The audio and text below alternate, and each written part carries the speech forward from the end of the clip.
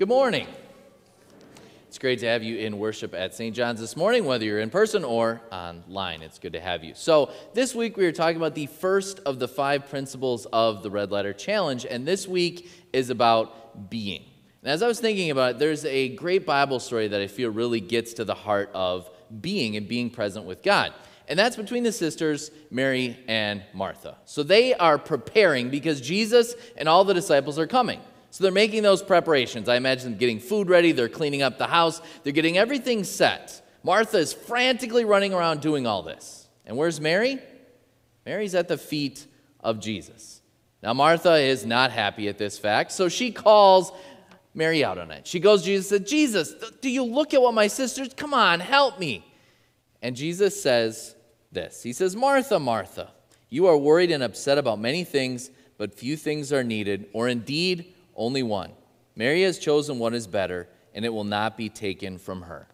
See, Mary understood what it was like to be with Jesus. She wanted to hear his words, was hanging on every word that Jesus spoke.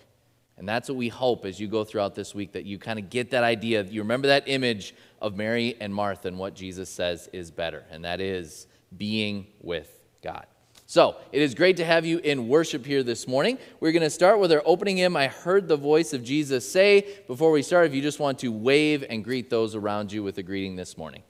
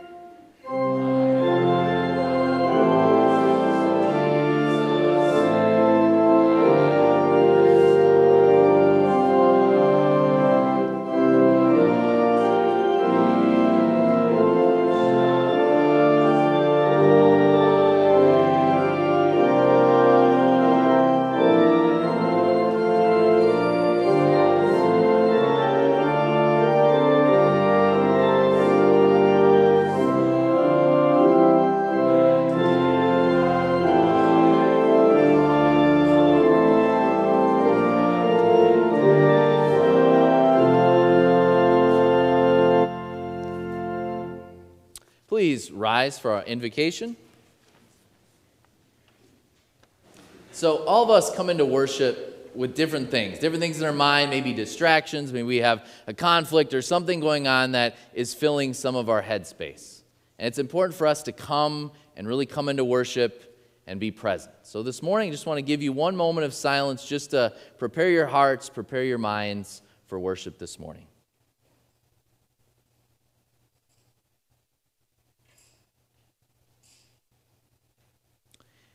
Now hear the words of our invocation.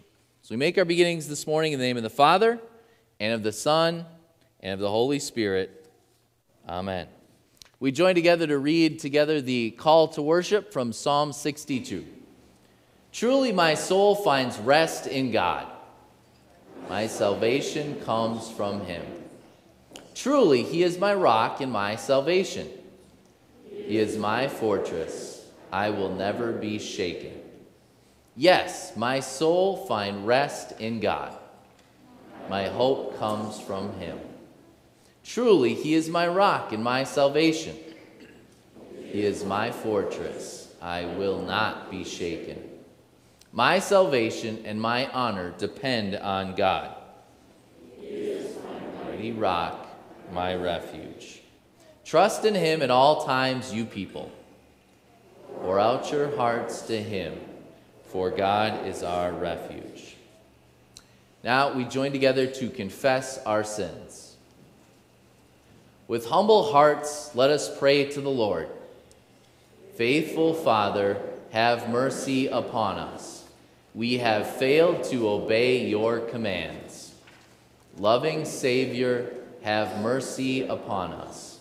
Wash us clean in your saving blood. Comforting Spirit, have mercy upon us. Restore us to be your own. Amen. In Isaiah 44, the Lord declares, I have swept away your offenses like a cloud, your sins are like the morning mist. Therefore, believe this good news. For Jesus' sake, God forgives all of your sins in the name of the Father, and of the Son, and of the Holy Spirit. Amen. Please be seated. We'll now have a special music from our bell choir, Sweet Hour of Prayer.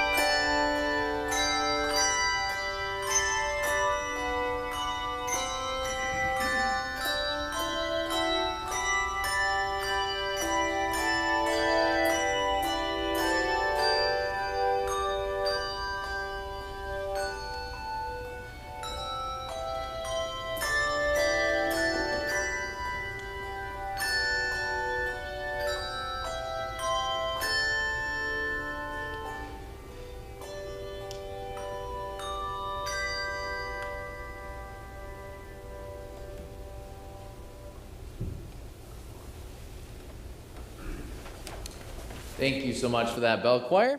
Uh, we'll continue by next listening to our um, scripture reading from Hebrews 3.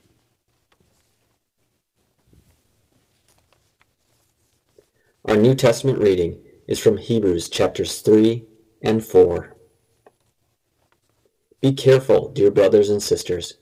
Make sure that your own hearts are not evil and unbelieving, turning you away from the living God. You must warn each other every day while it is still today, so that none of you will be deceived by sin and hardened against God. For if we are faithful to the end, trusting God just as firmly as when we first believe, we will share in all that belongs to Christ. God's promise of entering his rest still stands, so we ought to tremble with fear that some of you might fail to experience it. For this good news, that God has prepared this rest, has been announced to us just as it was to them. But it did them no good, because they didn't share the faith of those who listened to God. For only we who believe can enter his rest. As for the others, God said, In my anger I took an oath. They will never enter my place of rest. Even though this rest has been ready since he made the world. We know it is ready because of the place in the scriptures where it mentions the seventh day. On the seventh day, God rested from all his work. But in the other passage, God said, They will never enter my place of rest. So God's rest is there for people to enter. But those who first heard this good news failed to enter because they disobeyed God. So God set another time for entering his rest. And that time is today. God announced this through David much later in the words already quoted. Today, when you hear his voice, don't harden your hearts. Now, if Joshua had succeeded in giving them this rest, God would not have spoken about another day of rest still to come. So there is a Sabbath rest still waiting for the people of God. For all who have entered into God's rest have rested from their labors, just as God did after creating the world. So let us do our best to enter that rest. But if we disobey God, as the people of Israel did, we will fall. This is the word of the Lord. Thanks be to God. Please stand for the reading of the gospel. Our gospel reading today is from Matthew 11, verses 25 to 30. At that time, Jesus said, I praise you, Father, Lord of heaven and earth, because you have hid- hidden these things from the wise and learned, and revealed them to little children. Yes, Father, for this is what you were pleased to do. All things have been committed to me by my Father. No one knows the Son except the Father, and no one knows the Father except the Son and those to whom the Son chooses to reveal him. Come to me, all who are weary and burdened, and I will give you rest. Take my yoke upon you and learn from me, for I am gentle and humble in heart, and you will find rest for your souls. For my yoke is easy and my burden is light. This is the gospel of the Lord. You can please be seated. We'll have the video portion of our children's message.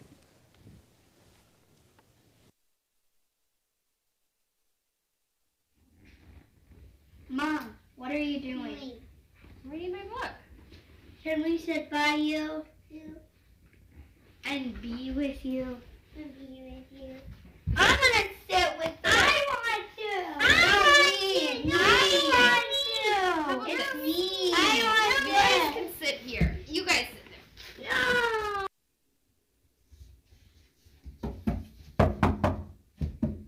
Yes.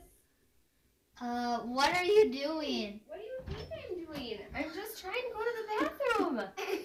Okay. Where are you, Mom? I can't find you.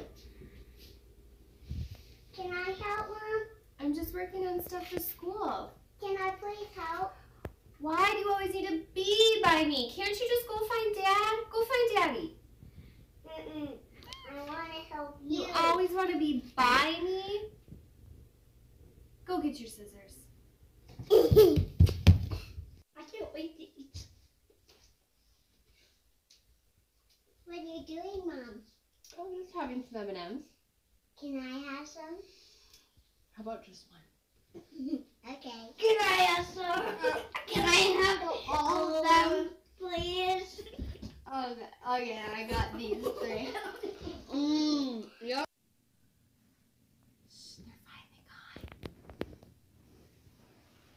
What are you doing, Mom? What are you doing, Mom? Wake up, wake up! I want to sleep with you. I snuggle with you. Aww. Are you almost done? All right, moms, show of hands, how many moms can relate with this scenario? No matter what happens, kids want to find mom. They want to be by mom. Dad can be standing right next to them. They will go around dad and they will wind sprint to mom. There's just something about being with mom. Now, the illustration I want to share today is as we're talking about being with God, that really should be an image of the way we look for God. I mean, think about that. Like, kids always want to be with mom no matter what. Well, God is with us no matter what. Kids want to share in food, obviously, with mom. We should want to share in food with God. All those things, all those times we want to be with mom, should be the same thing with God. We should be seeking God in that way. We should want to read our Bibles. We should want to sing those songs. We should want to be there with every point with God. I just thought this week, as we look about being, it seems so simple. How do we spend more time? How do we be with God? I think we have to look at some of those images on earth that we do. As kids, run to mom. We should all want to run to God. So let's put our hands together. Let's pray this morning and let's ask God to help us bring everything to Him. Let's pray. Good morning, God. Please help all of us to run to you with everything. We know you always are there and hear us. In your name, we pray. Amen. We will continue worship now by singing our sermon hymn, Come Unto Me, Ye Weary.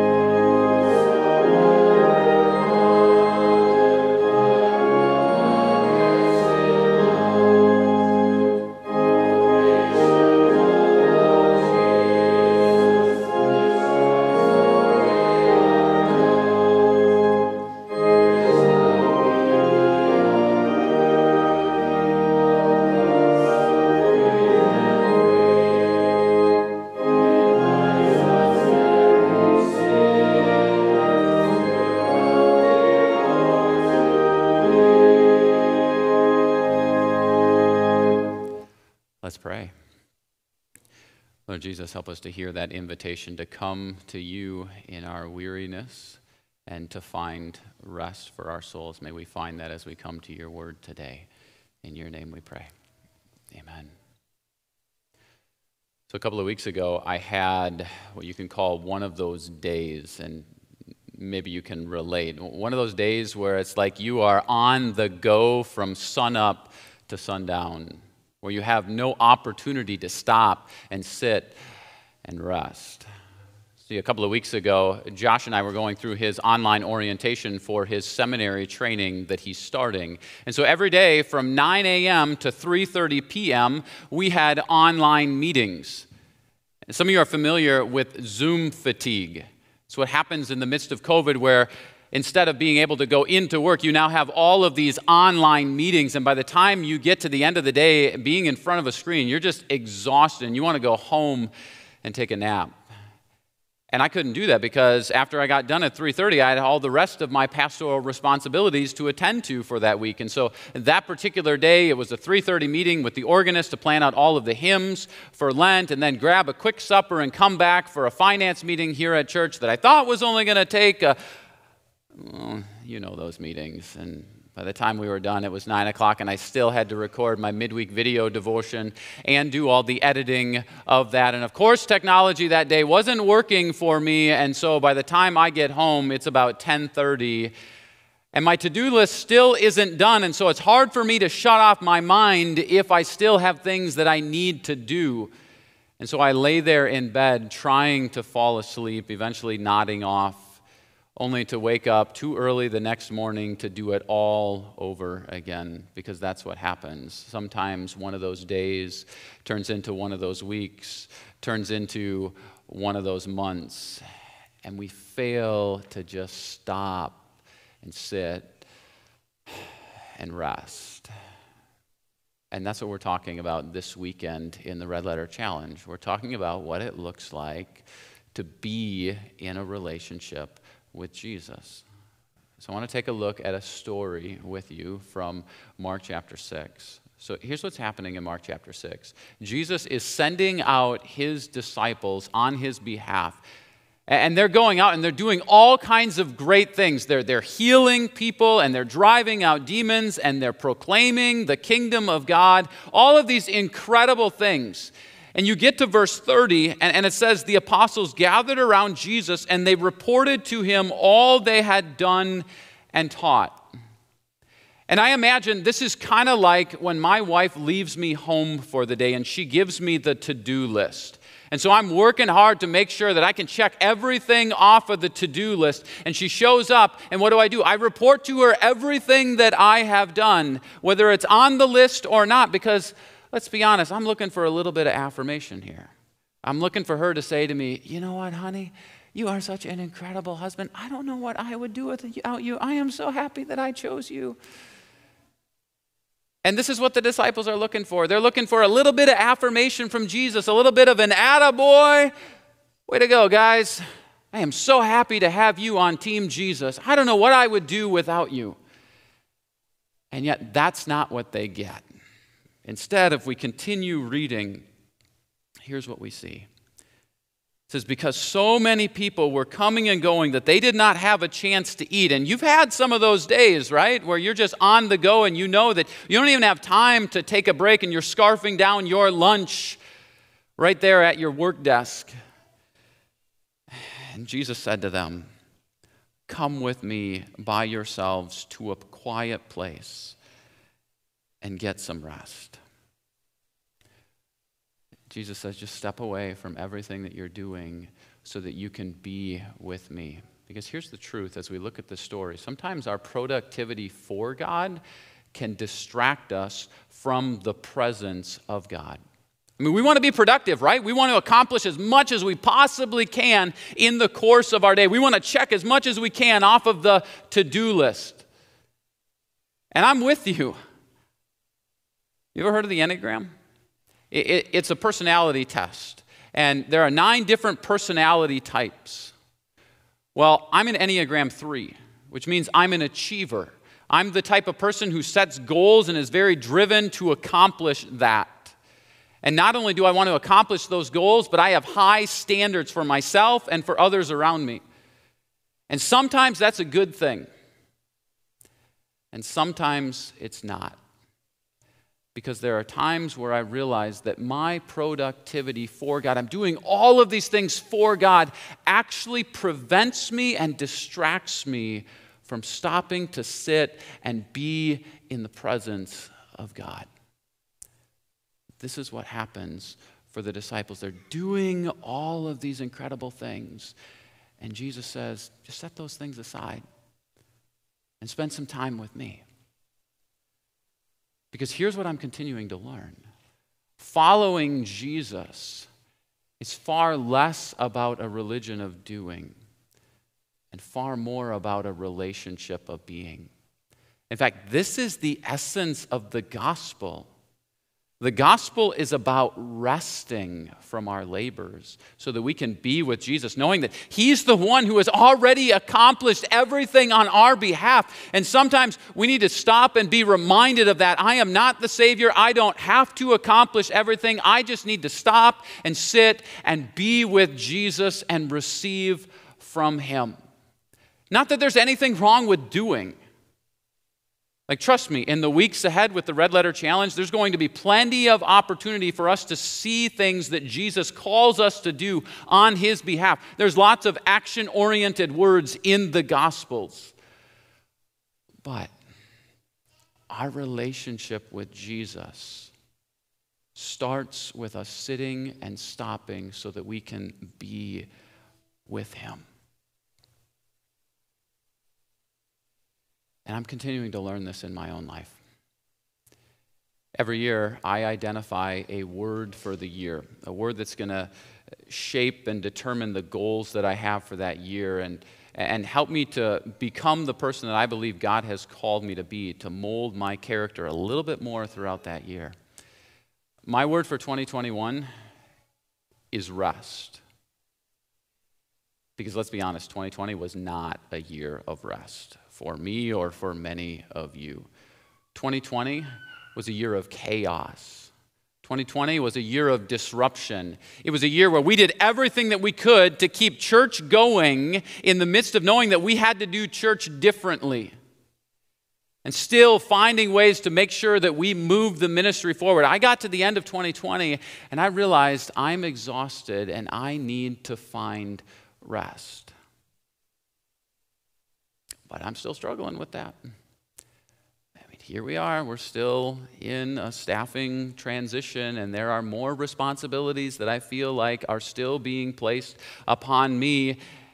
And even when I sit down and I have my annual review and they tell me, Pastor, you need to rest. You guys have been a part of those annual reviews after they tell you to rest, there's all of these things that they're telling you that you still need to be doing and improving at. And I get it. I want to be one of those people. It's just the challenge of my life. I struggle to rest. I struggle to stop and to sit and just to be. And maybe that's because I buy the lie that the more I do, the more productive I am. And I want to be productive. I want to accomplish even more. But when you look at the studies, they'll actually tell you exactly the opposite. The more that you try to do, actually, the less productive you are. So there's a book that I'm reading right now by Daniel Pink, and the book is called When, and it looks at the science of perfect timing. And one of the chapters talks about sleeping and rest in our lives. And it recognizes that most human beings throughout the course of their day have three different parts to the day. They have their peak period, they have a trough period, and they have a recovery or a rebound period. And these are our energy levels. It starts out high and eventually it drops off. And yet, so often what we do is we don't acknowledge that we are going through that low period and we need to stop and sit and rest. And we just keep pushing through, and it actually decreases our level of productivity in our lives.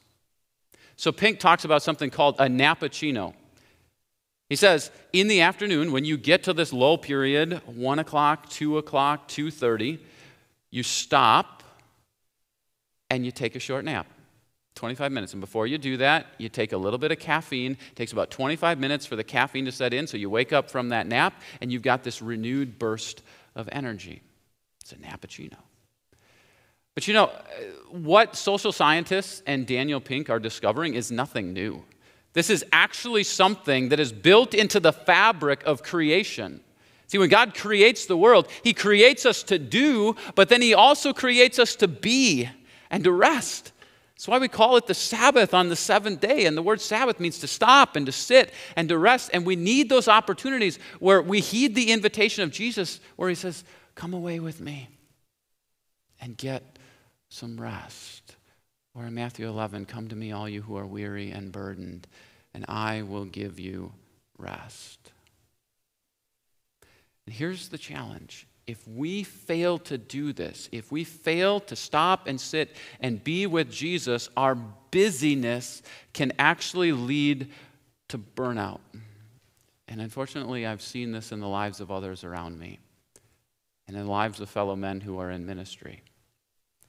Uh, there's a podcast that I listen to by a pastor in Canada. His name is Carey Nieuwhof. It's the Carey Nieuwhof Leadership Podcast. Very, very original, I know. But part of Carey's story is that about 15 years ago, when he was in his late 30s as a pastor leading a growing, thriving church, he burned out. He reached his breaking point, and he had to step away from ministry for a year. And this is not lost on me as someone who is now in my late 30s, pastoring a church that is growing and thriving in ministry in the midst of a pandemic. And I realize that if I don't heed those same warning signs in my life, if I don't build in those stop points, those Sabbath points, that I will begin to break down and it will have an effect. This is what happens when we find ourselves constantly busy. Eventually, our productivity decreases and our work is subpar. Not to mention that it affects our relationships and those that we love the most, and we come home to them and we're distracted and we're cranky with them. And if this continues, we get to the place where we burn out. And God doesn't want that for us, which is why Jesus says to his disciples, and he says to us, Come away with me and get some rest. And so, this is what you're being invited into this week with the Red Letter Challenge to focus less on the busyness of your life and to focus more on what it looks like to be in a relationship with Him. And I'll warn you, this is going to be a challenge for you. Because there's going to be some things that you're going to be asked to say yes to, and you're going to say, How can I add that to my already busy booked schedule? And what I've discovered is when it comes to time management, when you say yes to something, you need to say no to something else. So there are going to be some things this week, spiritual disciplines, that he's going to ask you to take on. But as you do that, I want you to be mindful of some of those things in your life that you may need to say no to. You might need to say no to Netflix. You might need to say no to social media and scrolling the web. You might need to say no to all of these extra kids' activities. You might even have to say no to some commitments at church because you realize that that productivity is actually causing you to miss the presence of God in your life. So, in your readings this week, he's going to talk about some different spiritual disciplines ways that we can learn to be with Jesus more, to be aware of his presence in our lives. And I just want to mention a few of them for you this morning. The first one is actually where you are right now. You go to church. Church becomes a non negotiable for you. Now, unfortunately, we live in a culture where church is something that if it fits in the schedule, then we make it work. But if there's something else that comes up on the calendar, if there's another activity that one of the kids has, or if we're away on vacation, we don't prioritize church. I want to invite you to make church your non negotiable because it's at church that you receive. It's at church that you receive God's gifts. It's at church that you hear that word and you're able to receive his sacrament. You're able to receive forgiveness. You're able to receive direction in life. And you're able to come to this place where everything is put in their proper perspective and you realize that you're not the one who needs to be in control, that God is. You don't have to work your butt off because Jesus has already done the work on the cross for you. So you come to church because it's at church that you're reminded of those things. The second spiritual discipline or activity is you read your Bible because this is where we hear from God. And this is why we're doing the Red Letter Challenge. It's a reset point for us. It's an opportunity, if you haven't had that regular habit of reading God's Word, that you carve out that time every day to do the daily reading and to hear some of those words from Jesus. Third thing that you do is you pray. Prayer is just talking out what's going on in your life with God. And I don't want to overcomplicate it with you. Like, where do I start? How do I pray? If you don't have a regular prayer life, prayer comes down to three simple words please, thank you, and sorry. This would be the way that I'd invite you to look at your prayer life with God. Look back at your life and your day and say, Thank you for what God has given to you. And say, I'm sorry for areas where you've blown it. And then look at your life and the next day and say, please, where you need help and direction and guidance from Him. So, you go to church, you read your Bible, you pray. The next thing you do is you listen to worship music.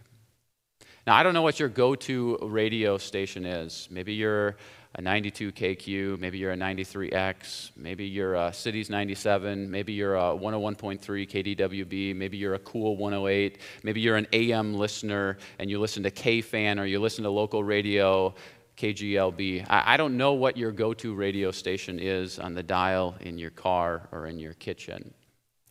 Maybe it's listening to country music, maybe it's listening to rap, maybe it's listening to pop, maybe it's listening to oldies, maybe it's listening to rock. And I'm not saying there's anything wrong with whatever type of music you listen to. But I, I, am giving a word of caution that maybe if you listen to the lyrics of some of these songs, it's not leading you closer to a relationship with Jesus. And maybe some of the words are questionable, and you do have to reconsider some of your choices of the music that you listen to.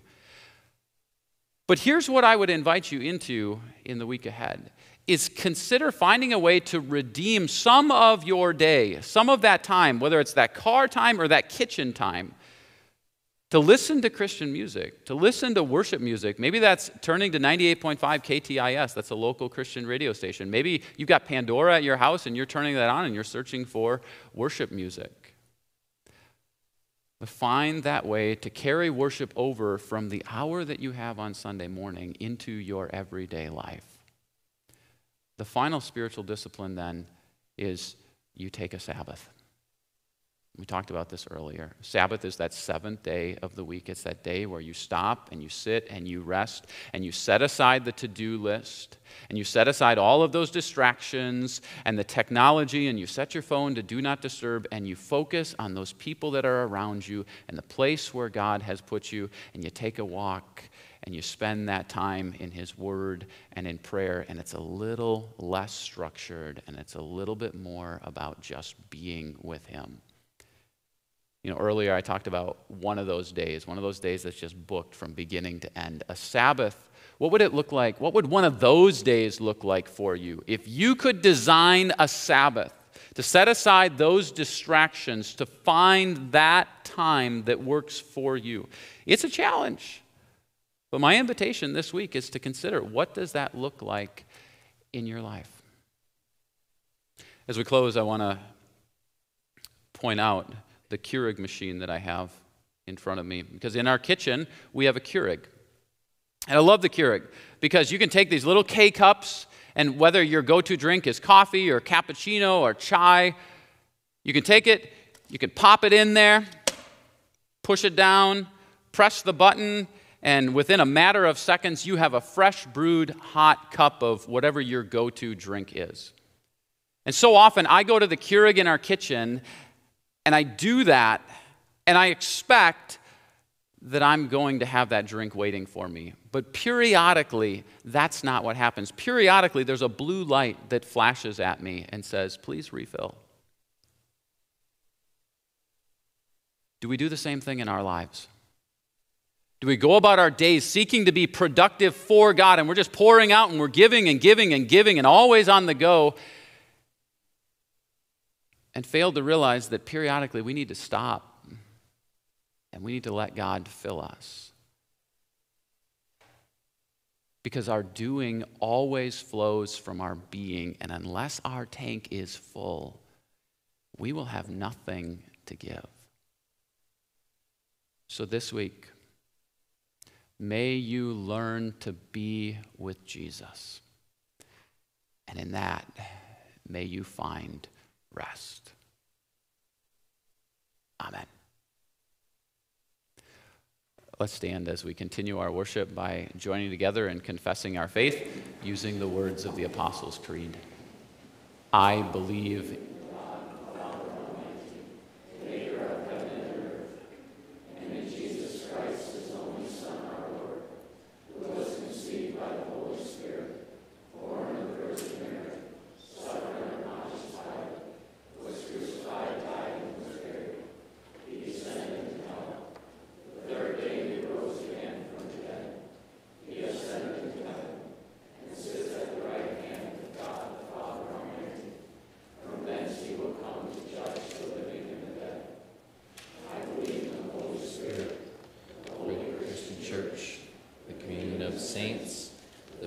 forgiveness of sins, the resurrection of the body, and the life everlasting. Amen. We take this time to go to our Lord with prayers. After each petition, I will say, Lord, in your mercy, your response will be, Hear our prayer. Let us pray. God, this week as we go throughout the Red Letter Challenge and we challenge ourselves to spend more time to be with you, God, Help us to focus. Help us to look at those aspects of our life, those different disciplines, whether that's worship or prayer or music. Just help us, God, to focus on you. Help us to block out a lot of the distractions, a lot of the noise, a lot of the things that prevent us from really listening and being present, God. Help us to be like Mary. Help us to be at your feet and listening, to be in your word, and just to remind us, God, that you are with us, that you love us dearly. Lord, in your mercy, and God, this week we ask you to be with all those people who are sick, who are suffering, who need your extra help. This morning we pray for Beth Powlick, Mary Richter, Cliff Bennett, Aubrey, the granddaughter, granddaughter of Corley Frank, Mary Lou Rogie, Phyllis Livingston, Sarah Ojard, Phyllis Stender, Gino Patrony, and Jason Vinkemeyer and his fiancee Caitlin. God, you know each of their needs. You know what's wrong with them. You know what type of healing that each of these people need, God. The one thing they also need is your just the reminder of your presence, that you are with them. So be, please be close with them this week and bring them the healing that they need. Lord, in your mercy. And God, we also give thanks. We rejoice in the healing for Elaine Peon, who's back home and being able to recover after her fall. Just continue to bless her with that healing. Lord, in your mercy. And God, also be with those who grieve. This week we ask you be with the family of Ken Melkert, who's the nephew of Orville Bachman, who passed away. Just wrap them, God, in your comfort and in your love, and just in the sure reminder, God, that anyone who believes in you does receive eternal life. Lord, in your mercy. And finally, God, we rejoice and we share together in the prayer that you have taught us Our Father, who art in heaven, hallowed be thy name. Thy kingdom come, thy will be done, on earth as it is in heaven.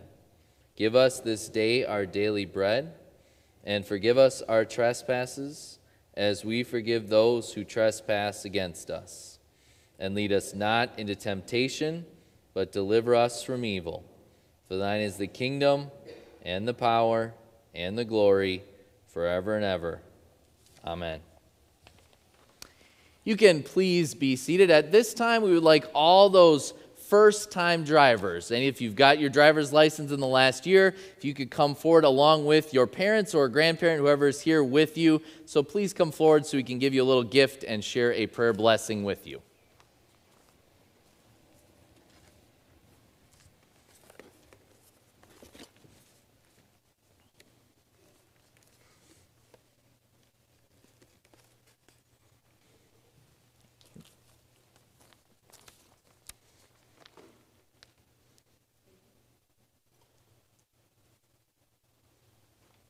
Got Chris coming.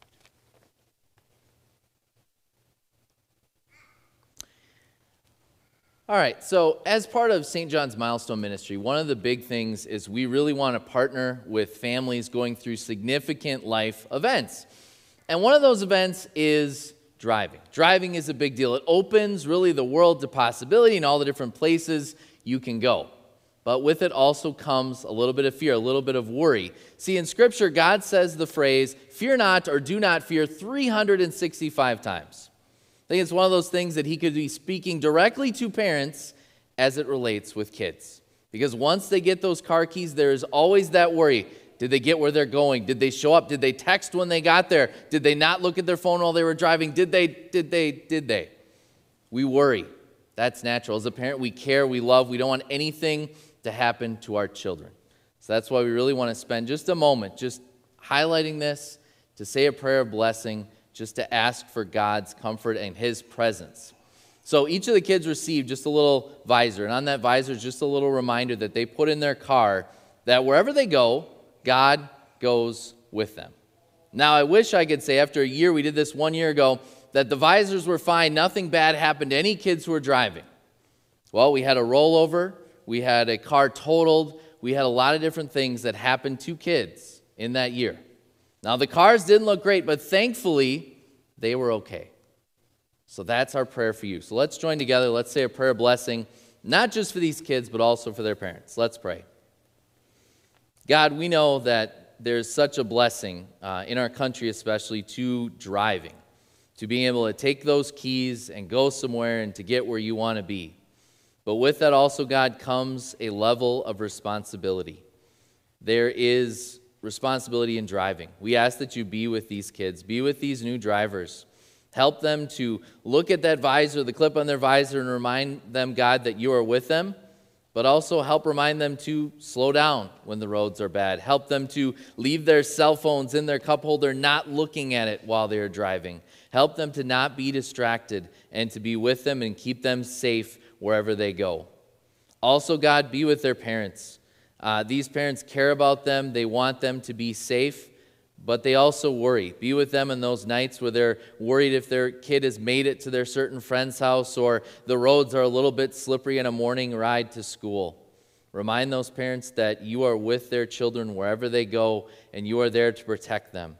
Just please wrap all these kids, all the new drivers in our community and area, with your blessing, with your comfort, God, and with your protection. It's all in Jesus' name that we pray. Amen. All right. Thank you guys. Blessings out on the road. Uh, as they return to their seats, uh, the overall blessing just to give to everybody. So, this week we focus on the being portion of the red letter challenge. So, uh, some scripture from John 14, some of those red letters that Jesus gave us. Jesus replied, Anyone who loves me will obey my teaching. My Father will love them, and we will come to them and make our home with them. God comes to us. So, please remember that this week. Amen. We now stand, we rise, please, to sing our closing hymn, Thine Forever, God of Love.